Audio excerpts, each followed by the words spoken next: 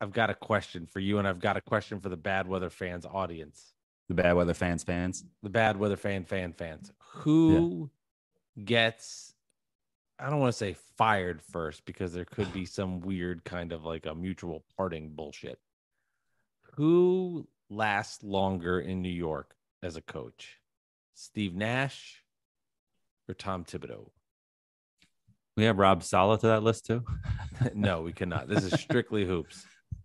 Who is Who out gets fired first? first? Yeah, because we know the Nash angle. I mean that that goes without saying. Oh, Well, I'll re- the Nash angle is they all hate each other. The Nets start off slow, blah blah blah. They got to make a change, to get a spark, or something. Something happens with the Nets that ignites it. The Thibodeau angle is slow start, stubborn with his rotations. Evan Fournier, like he finds a way to get Evan Fournier 50 minutes, even though there's only 48 minutes in a game. Like somehow Obi Toppin gets negative seven minutes in his first start, right?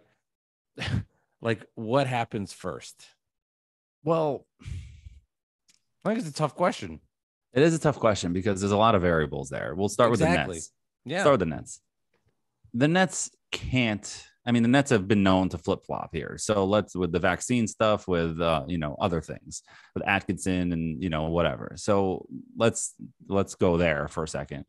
But the Nets can't look themselves in the mirror, put their foot foot to the fire about with Kyrie and and risk it all with Kyrie and Durant showing up and say no, we're not firing Nash. And then three months in the season, you start off like 500 and you'd be like, all right, goodbye. Could you can't do that. Yeah, they could. They could, but They then you look like then any smidge of credibility you gain Anything. back for standing up to Kyrie is totally fucking gone. And now Kyrie and Durant are gonna do whatever they want again. Anything And- can change with this organization. I hear your points and they're fair, but you know, Anything's possible. anything's possible for sure. Really, like anything. Okay. Like Kyrie inter- could be the player coach by point. January. He really can be. He Can you could. imagine? And, and then he'll miss. Then he'll be absent as a player and a coach. and then with the Knicks, it's like it's so hard for me to see Thibs get fired. Because yeah, one good year, one bad year, but the bad year was like completely, almost completely on Thibs's shoulders for not holding Randle accountable, not fixing the rotation and playing the players that were playing better, and being so stubborn that it costs you games. Coming out every third quarter, it felt like with a shitty game. You might be up. Look at the Nets game when the Cam Thomas game. You're up 30 points at halftime, whatever it was, 100 points at halftime. There was not one Knick fan that you met on Twitter or texted or anybody that said, "Oh, we got this one," because we knew they were going to come out in the third quarter. I even bet on the Nets in the second half to cover because I knew the Nets were going to come back. I didn't know they were going to win, but I knew they were going to make it a game. Hurry had a good game. Because if yeah, if you looked over in the up. If somebody can do this to me because I've tried, if somebody can get on StatMuse or somewhere and give me the Knicks third quarter record, just head to head third quarter, how many third quarters they won, I guarantee you they'd be 30 games under 500 Right. at So least. So, it, was, it was putrid third.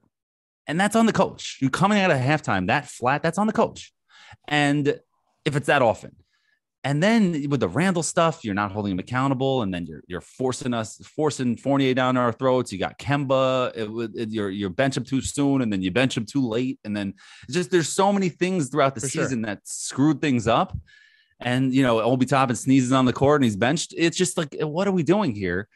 That, and he's still here. I want your answer And- on this. I'm excited.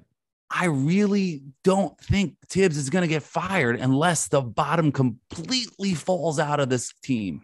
So I really do think that it's going to be Steve Nash first because of the uncertainty in Brooklyn and the but- unpredictability. But I will say, I have to, you know, I will say you didn't just come out here and be like, oh, the Nets were a joke and he's going to get fired. You definitely gave like a fair answer there. And it wasn't just, you know, your Well bias of, yeah, it was well thought out and it was organized and it was, it, it was, it was great.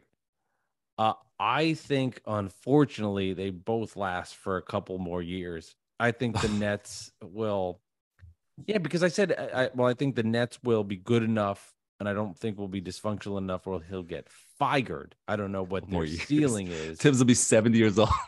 like, well, we won 30 games last year. You got to give him a chance. He's for- 70 years old. You never know. I um, you know, I I, I said this on the. I said this on the previous podcast. The Knicks are in purgatory, and he's the perfect man for the job.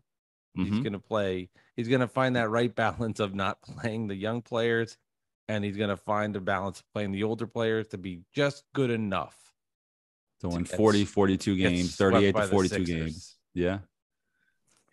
with skinny James Harden, who's lost 100 pounds according to James Harden. And then now that the Celtics, who seem to be a mess, which is a crazy situation, not even worth talking about at this point. It's so Things it's a couple of days so ago. fast.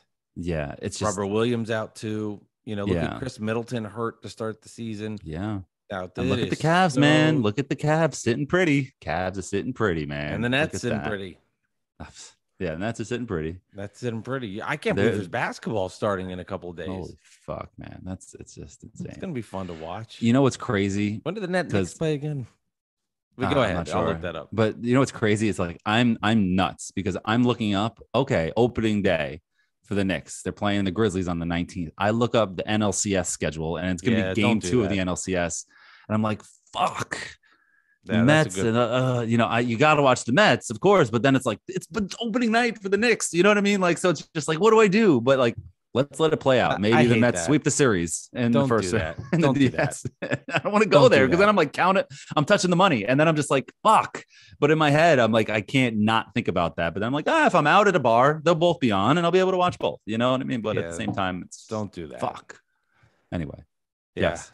because you What who were knows with the Mets? Don't don't put them already in game two of the I. NLCS and all these different scenarios. Net Knick first game of the year is November 9th. It's a Wednesday at MSG South, the Barclays two days after my birthday maybe we Good should do know. that, huh? You want to what to go for your birthday? Are you asking me now to buy you tickets? Is that what's happening? No? I'm just thinking like it's two days after my birthday. so Maybe I am not something like going to the Barclays Center for a Net Knick game with you. Hell no. Well, I got to see how the Knicks are playing first. I'm not going if no, they're like I'm not and 9. going I'm there. like, I'm not no, going. because I, I I can't. Do that. I Sorry, call me a front runner if you want. I'm not going to Brooklyn to watch the Knicks who are imploding in, in at the No. Barclays Center. No, First of uh, all, no, thank like you. 10 games into the season, and I don't need to go there. And then, like, the Knicks go up 17 11, and you're obnoxious and loud. That's the last thing I need to deal with. Hell no. No, definitely no. not. We needed we actually a needed a playoff time for me, series against each other. The two years ago was what we needed. We needed that two years ago. That would have been great. That'd been great for the podcast, and it would have been great to to just that would have been nuts for the city. Like we needed that as a as a New York basketball city. I know. We would have we didn't get it. We would have. I, I- don't know if I could have sat there next to you and, like, seen each play and heard you're like, that was a foul. And under my breath, I'm like, this guy's a, this guy's a moron.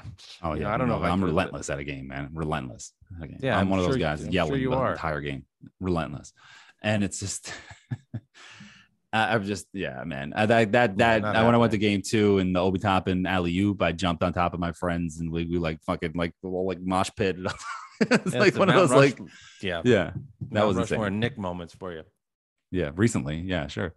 You know, All but time. uh, yeah, um, time, I'll go to the Garden with you for a game, but I can't do it at Barclays.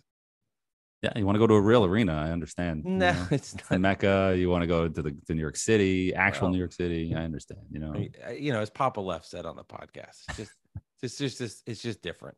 And I know, but in all seriousness, I just don't want to. Um, I could stomach a loss at the Garden easier.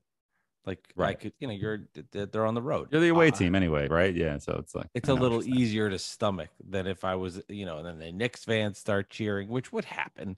I've said this before. Like the Jets don't get Jet games become half the arena of other teams. Jets don't no get any fans anymore. but no one even seems to even uh but no one even seems to give that a problem but the nets do it it's like it's a big deal